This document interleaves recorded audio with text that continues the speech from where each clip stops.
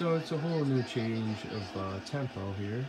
But the spinning kick right here, I didn't mean to spoil it, but that right there is what is my staples button in this match. Watch right here. It's coming. Uh, he, he rocks me and he lets me up actually. He should have won, but he is a classy lad and he wanted to put on a show for the crowd. So I let him. Hits me with the leg, hits me with two leg kicks. I didn't, I didn't you know, I didn't feel good, but hits me with leg kick. Should have been over, but nope. It's a comeback kid right here. Got him. Got him. That's it right there. That's it.